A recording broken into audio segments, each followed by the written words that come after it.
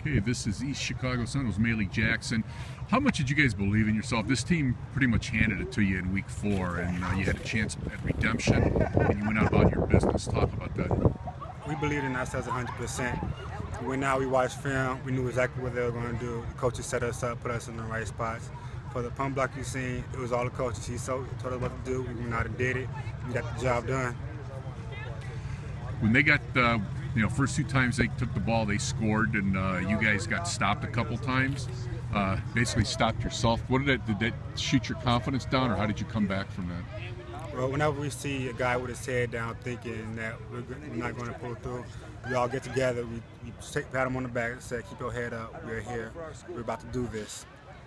And, you know, playing Lowell, how excited are you to still be playing and playing on another quality program?